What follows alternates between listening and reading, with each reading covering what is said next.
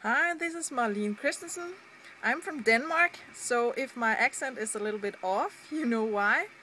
Um, last week I started the Dean Holland Quick Start Challenge, and I know probably many of you who see this uh, are in the challenge as well, unless you see this in a later point of uh, life. and um, this Quick Start Challenge started off with having to post on our blog and he that was the challenge for for last week.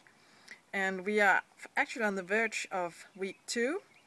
And in the training for week one he he talked about getting started online and he also talked about uh, the mindset of being productive and keep moving forward and uh, not just be uh, a subject to change but actually take charge and make that change um, the changes go into a progress. So it's not just change, it's actually progress. So even though that we might get uh, stuck somehow or something happens that sets us back a couple of steps or something, then we just keep moving forward because we know that in the long run we'll get the progress that we want if we stick to it. So I've decided to put on another challenge as well because one of the things that I think he's missing is actually um, having the energy to do all this work. And um,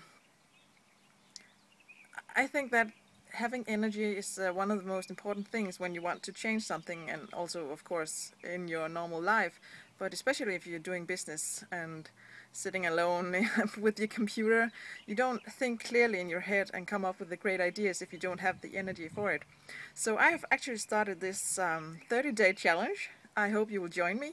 It's a challenge to get more energy and yeah, we'll start today by uh, going out uh, getting some exercise. I know you're all watching this from different uh, perspectives and you have different um, places in your life where you might not be fit or you might not have uh, been out running for a while or never at all. And I don't care where you are actually, just go out and do some exercise.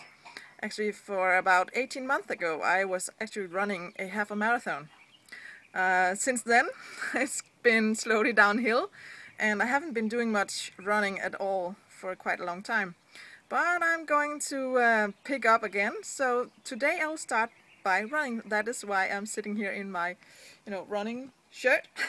I'm actually um, about ready to go out running. So my tip for you today, if you want to start this challenge, is go out and get some exercise. And uh, I will post another tip, video tip for you again tomorrow. I'll see you there. Bye.